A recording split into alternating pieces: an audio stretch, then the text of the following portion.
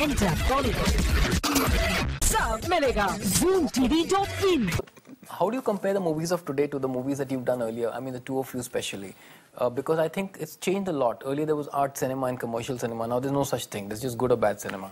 I think today it's not about good cinema, bad cinema. I think the audiences today have become very mature and they, irrespective of what uh, whether it's a low budget or a big blockbuster, if it's a good film, they're ready to accept it. Otherwise, they'll just junk it. And that's what I yeah, yeah. really love. That five ingredients should be in every film. The that formula. nonsense, thank God, is almost stopped. And Yeah. all those rat- Ghisapitta directors who try to ratto that process are really losing You at the think they're still office. there? Those directors are still They're- there? they're- some of them are trying still in their old fashioned, Okay. but they're losing out, and so they're smartening up, and films are changing. Yeah. To win, not win an Oscar is today, for me, a serious issue. We should be creating a film where India wins its Oscar.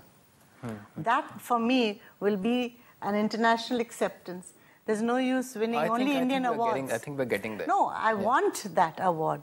I want it. But is the Oscar that important? I mean, Uh, well, yeah. Not in terms of uh, the award per se, but Yeah. in terms of the recognition on an international international level. Yes, That, it has that is to really be. what Look she's at the like. class and character and uh, uh, canvas of what films are being made. True. And the Oscar today has been won by a, a, a woman, Yeah. beating all odds.